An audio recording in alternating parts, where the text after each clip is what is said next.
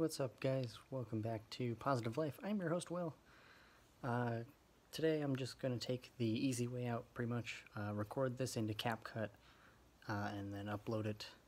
So I'll just kind of be talking the whole time. I won't do the daily board. As you can see, I'm not in my room. I'm actually downstairs uh, because I can then get the thumbnail uh, more easily done on the computer that is in front of me rather than uh, trying to do all the setup and stuff. Because if I did it the normal way today, uh, it would be about midnight by the time I was done, and we would be off by a day and everything, and I don't want to mess that up. So I'll take the, like I said, the easy way out today.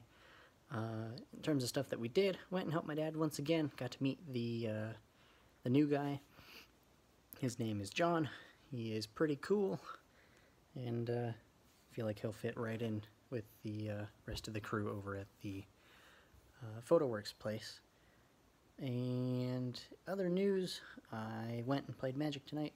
I made a deck that people actually like to play against, which is pretty cool. And uh, actually won a game, so that's always a plus. Uh, that's about all I did today.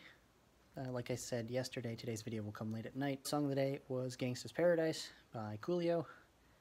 And uh, yeah, that's pretty much it. You know, with the reflection and all that, even though you can't see it, you if you've been around long enough, you probably know what it is already. Take care of yourself, folks, and go treat the people with respect. If you did those things, great job. Proud of you. Go take a nap. Enjoy the rest of your day. And let's wrap this up. Alright, guys, and with that, today's episode comes to a close. Thank you so much for joining me. As always, remember to take care of yourselves and each other. Treat each other with respect. Take it easy. Stay humble. Good night.